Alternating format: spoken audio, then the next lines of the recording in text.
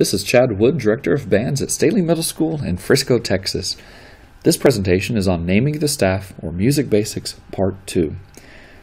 This page and more theory worksheets can be downloaded at staleyband.org/theory. As we begin, remember that I'm going to work through this very quickly. You can always pause the video if you need more time, or you can rewind it if you need to hear the information again. You always start by writing your name on it, and notice that it says names are important. Knowing how to read music is also important, especially if you are currently enrolled in a band or orchestra class, since we now are friends with the five lines and four spaces of the staff. It's time to learn their proper names. A clef Notice that that word is bold and underlined. It's an important word for us. Well, a clef is a musical symbol that names the lines of the staff. Every time a different clef is used, the names change. The two most commonly used clefs are treble and bass clef. As you learn to practice drawing a treble clef, you want to pay special attention about the dot at the end, but more importantly, the loop at the top goes to the right and then it swooshes to the left as you go down, back right, and then it curls around. You want to practice that a few times, but notice that it is the second line that the loop is going on. That's very important that the second line, and remember we count up, is what you're focused on. As you draw the bass clef, it is a little bit easier to draw. You just start with a circle and it goes around, kind of like you're drawing a cartoon ear. A lot of young musicians, though, forget to add the dots. So as you practice this, make sure that you keep those dots on either side of the fourth line, or if you want to think about the third and fourth space, and again, we always count from the bottom. The next section talks about which instrument goes to which clef. Very important information since the clefs name your staff. If you are a flute person, you are going to be in treble clef. Oboe is also treble clef. Our bassoon friends play in bass clef, and then clarinet and saxophone are both treble clef.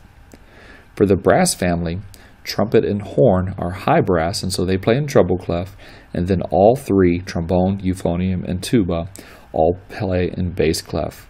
Percussion family, we love you guys. You guys just have so many instruments, so we just picked a couple here. Timpani, that's a very common one that we learn. We do play in bass clef.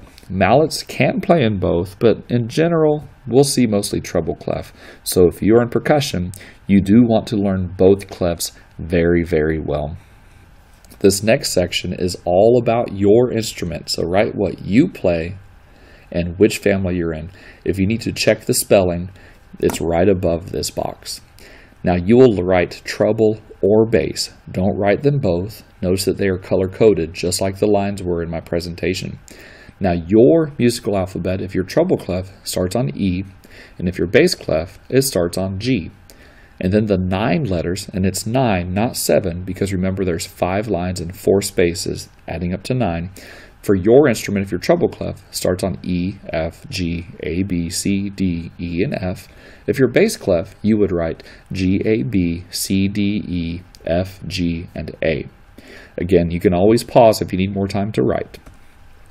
Now, when you name the staff, now you can actually compare this to the keyboard and notice that it first asks you to draw the clef. So bass clef, you would start about here, work your way around, and then do not forget the dots around the fourth line, around the fourth line.